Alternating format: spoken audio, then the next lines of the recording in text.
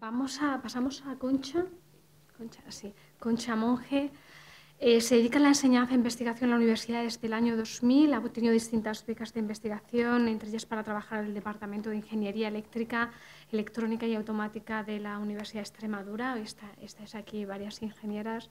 Y actualmente disfruta de un contrato de profesora visitante en el Departamento de Ingeniería, Sistemas y Automática de la Carlos III y su labor eh, se centra en el control de procesos industriales y robótica. Es autora Ah, bueno, quería comentar también que ha liderado varios proyectos de investigación en el ámbito de la robótica y el control aéreo y entre sus labores de gestión ahora está eh, la dirección del Centro de Aeronáutica, de, bueno, de entrenamiento de, aeronáutica de la Carlos III dedicado a la formación de controladores aéreos.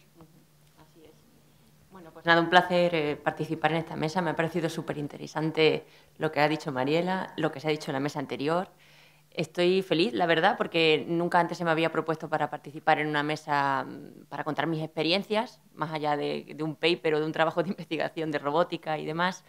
Y estoy encantada de estar aquí con la Kelly McGillis eh, italiana. Y, no sé si te lo han dicho yo alguna vez que te pareces un montón a Lara Fabián. ¿Conocéis a Lara Fabián, cantante francesa? Bueno, pues se parece un montón. Así que bueno, estoy feliz porque soy súper fan de las dos. así que bueno. Bueno, pues em, yo un poco al hilo de lo que decía Mariela, me, me han gustado dos cosas que comparto 100%. Y una es eh, que es fundamental eh, el, que los niños, cuando somos niños y niñas, eh, tengamos un referente masculino o femenino. Bueno, en mi, en mi, caso comparto que los referentes femeninos han marcado mi carrera ahora mismo. Será casualidad, no lo sé, pero es verdad que para mí el profesorado siempre ha sido un elemento vital en, mi, en mi, formación, en mi ilusión ¿eh? y, puedo decir en mi motivación y, en ahora mismo las facetas que, que, más me satisfacen en mi vida, ya no solamente laboral, sino también personal. Y, por ejemplo, puedo deciros que em, lo que hablábamos de las matemáticas, tuve la suerte de que en EGB tuve a una profesora maravillosa de matemáticas, y, nunca jamás he concebido las matemáticas como una asignatura difícil, ni, ni, abstracta, ni con miedo. Sí que es verdad que lo es, puede serlo, pero yo tuve una transmisora maravillosa de, esa idea de las matemáticas y ahora soy ingeniera. Lo mismo también la tuve en, inglés. Em, y además eh, me dijo, ella veía que yo era una cosa que se me daba bien, pero tenía unas ciertas carencias a la hora de la pronunciación y demás, y ella fue muy honesta conmigo, yo a lo mejor tendría 10, 12 años o algo así. Me dijo, eh, con lo bien que se te da la gramática, el vocabulario, impresionante tus exámenes, tal, pero cuando te hago la, la prueba aquí oral, eh, que me tienes que leer un texto, fallas mucho, tal cual, pues eso me motivó muchísimo y al año siguiente ya estaba yo metida en el tema de la fonética que me apasionó. Quiero deciros que son gente implicada, que para mí han sido referentes y que, y que debo agradecerles eh, el que ahora mismo sea prácticamente bilingüe y el que ahora mismo pues trabaje con las matemáticas eh, como un lenguaje casi tan familiar y cotidiano como el con el que me expreso ahora mismo y eso es maravilloso. Aparte también de la música, que para mí ha sido eh, un, y sigue siendo, y creo que lo será siempre, un sustento, un pilar, y gracias a que a los seis años me, apunté, me apuntó mi madre a una academia y, tuve una profesora también maravillosa que sigue hoy, hoy en día dedicando su carrera a, niños en el Conservatorio eh, de Badajoz de Extremadura y que, y que bueno pues que para mí fue mm, pues eh, pues un no sé cómo deciros yo creo que ha sido el descubrimiento mayor de, mi vida, ¿no? Y, me ha llevado a, tuvo que, tuve que esperar casi, yo qué sé, un año a, que me crecieran los dedos de la mano para que pasara de la flauta al, piano y todo de su mano, ¿no? Y, bueno, y ella siempre, e, ella lo sabe, después de 12 años desconectadas y, yo ya de, tener casi 20 y pico y, estar desde los 8 sin saber de, de, ella, la volví a encontrar porque la busqué y todo esto se lo transmití. Y creo que esa, esa ese reconocimiento a la labor docente y, de, transmisión de ilusiones, más allá de los conocimientos, es fundamental. Y yo cuando doy clase a mis alumnos es algo que no que creo que deba hacer, sino que siento que quiero hacer y que para mí es lo más eh, reconfortante y, bueno, y, lo tengo. Y eso me lo, me lo, ratifica el feedback de mis propios alumnos que vienen a la mesa o al final del curso y me dicen, me ha encantado tu clase, tal y cual. ¿no?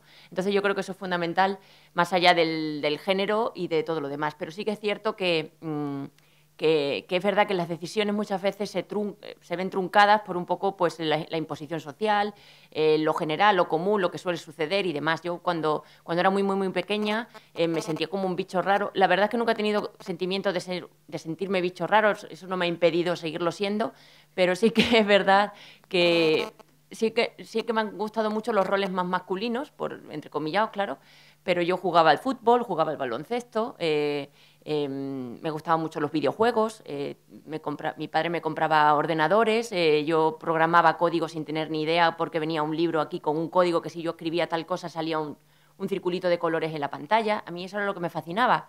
Eh, mi padre me llevaba a la emisora de radio porque él trabajaba en cadena COPE, antiguamente Radio Popular, montando emisoras y me fascinaba todo aquello de los cables, los sonidos, tal, aparte de la colección que había allí de discos de vinilo brutal.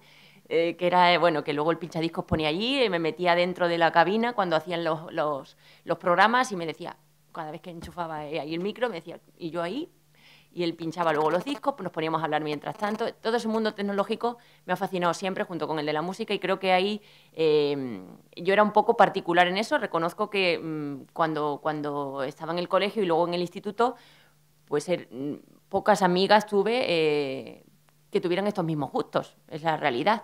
Pero bueno, eh, eso no me ha impedido eh, poderlos desarrollar y ahora ser ingeniera eh, y, haber estudiado música y haber estudiado idiomas y haber estudiado otras mil cosas que a lo mejor pues el resto de mis compañeras pues no tenían en la cabeza, ¿no?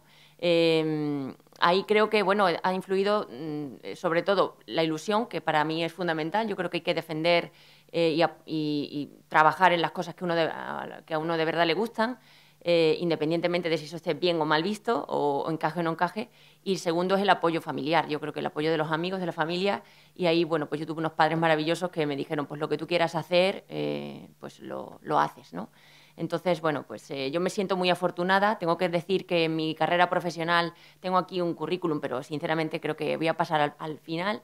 Em, sí que es verdad que em, he tenido algún tipo de traba, que ahora os contaré, pero puedo deciros que trabajo en un departamento donde sí que es verdad que estamos tres mujeres solamente, eh, con una posición un poquito más estable. El resto, pues sí, te encuentras con alguna, alguna chica que está haciendo su tesis doctoral. Yo tengo la suerte de dirigida, eh, de las dos personas ahora mismo a las que le llevo la tesis son mujeres y, están haciendo cosas muy interesantes en, temas de UAV, de drones y, otra en, robótica evolutiva, que me parece muy interesante.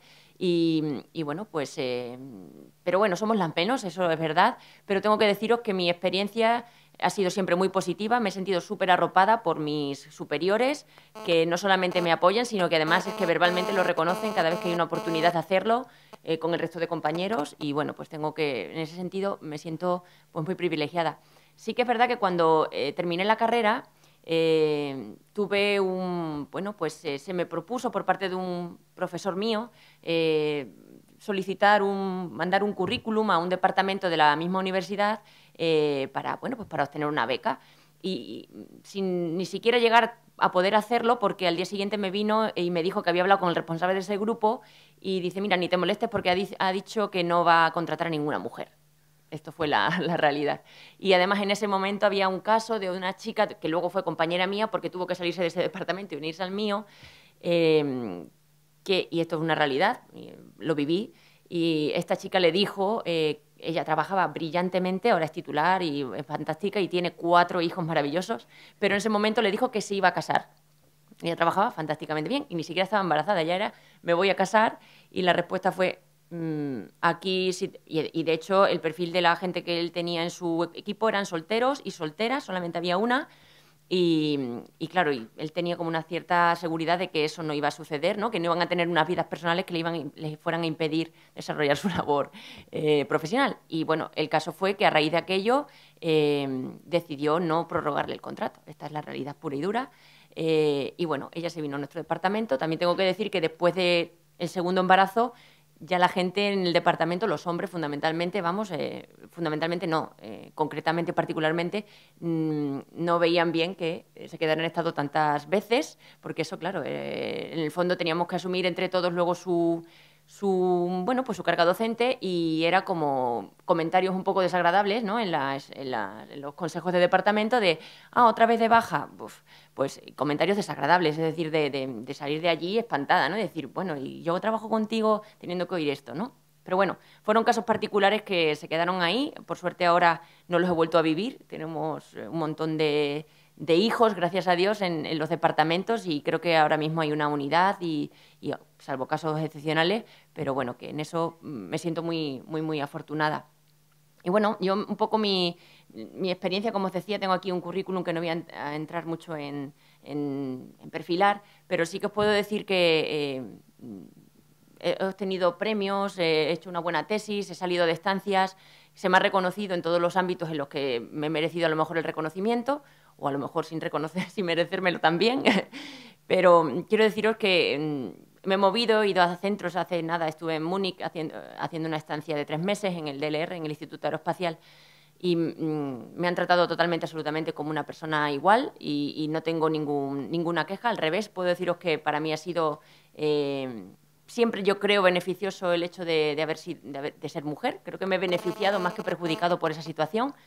Eh, y bueno, eh, también quiero mm, transmitir un poco que la ilusión y las ganas de desarrollar una labor eh, llevada al, último extremo puede abriros la puerta, y, no soy seguro que tendréis, tendréis muchas experiencias similares, a, muchas facetas que, que, a lo mejor siempre habéis anhelado desarrollar y que muchas veces por esta uh, ofuscación de la vida profesional, el tal, que si tengo que hacerte cuatro papers, que si hoy me quedo y no salgo, no voy al yoga, que si hoy no voy a... Hoy, por ejemplo, después de la comida me voy a mi clase de batería, que me encanta. y bueno, pues yo, este tipo de cosas que a veces que sacrificas, ¿no? Em, por ejemplo, la batería es una cosa que siempre como muy de hombres, ¿no? Mi profesor solo soy yo de chica y está flipado. Pero bueno, a ti también te gusta, bueno. pues bueno, estas cosas, ¿no? Que hay que hacerlas, ¿no? Em, pero bueno, que me pierdo con las cosas. Em, os decía que Mm, que, por peregrinas que parezcan y por fuera de lugar que os parezcan, siempre lo importante es hacerlas con ilusión y al final todo, todo termina llegando. Yo quiero, mm, aparte de, bueno, aquí unas fotos con los drones y con todo, quiero mm, un poco enfatizar dos dos proyectos en los que he participado que nada tienen que ver con mi carrera profesional, pero los que sí que he llegado gracias a mi carrera profesional. ¿eh? Eh, que muchas veces yo también tenía la duda de por qué estoy haciendo esto, no me gusta lo que hago y demás. Y siempre yo siempre quise ser pianista primero y luego ya quise ser eh, técnico de, en un estudio de grabación para grabarle los discos a, a los mejores cantantes y demás, ¿no? Y bueno, al final he terminado participando en una película, la de Autómata, con Antonio Banderas, en, la parte del guion, que a mí siempre el mundo del cine me ha llamado más fascinado siempre, sobre todo de puertas adentro, de, cámaras para atrás, no, no a nivel actor-actriz, pero sí, digamos, técnico y he podido participar en el guion, estar en la grabación y esto me ha supuesto pues, pues, una ilusión brutal, un sueño hecho realidad que nunca pensé que llegaría y fijaros. Y por otro lado, bueno, pues eh, también la parte de la música, que ya creo que ha quedado claro que me encanta, pues tuve la suerte de esto, casualidades de la vida, conocer a Rosana y, me ofreció después de un tiempo el, hacer la adaptación de uno de sus temas al inglés para una cantante con la que hizo un dúo y, bueno, que está ahora en su último disco y para mí fue como e, e ir al estudio de grabación, estar con el técnico haciendo simplemente de secretaria iba, simplemente de, mirando lo que él hacía pues bueno, fue, fue, acercarme a lo que siempre más mm, en la vida me había ilusionado, ¿no? Por supuesto, ni que decir tengo que la gran parte de los técnicos que estaban ahí y músicos eran todos hombres, eh, sí, porque esa es la realidad, sobre todo eh, a nivel técnico eh, quizás algo, menos, pero a nivel musical, mm, ¿qué bandas veis donde toquen mujeres, mm, más allá de cantar, sino de, interpretar algún instrumento? Pues pocas, ¿no? Rosana, por ejemplo, es un caso que, creo que con esto acabo, es digno de admirar porque compone sus temas, produce sus discos, toca los instrumentos, la guitarra, en este último hasta se ha atrevido con la batería. Y creo que es un, ejemplo, bueno, pues en ese sentido de, una persona que, es fiel a sus ideas y que, y que ahí está, ¿no? Y nada más, pues nada, un placer haber participado en esto.